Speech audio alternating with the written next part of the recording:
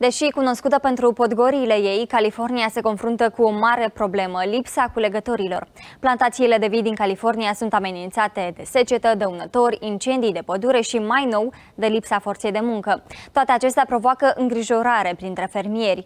Cercetătorii au conceput un sistem care poate prelua cu succes munca manuală a oamenilor. Există o multitudine de avantaje, printre care enumerăm doar costurile reduse pe termen lung și faptul că strugurii au o calitate superioară atunci când activitatea activitatea este mecanizată, susțin oamenii de știință. Nu știu voi, dar eu sunt curioasă să-mi dau seama pe pielea mea care este diferența dintre cele două modalități.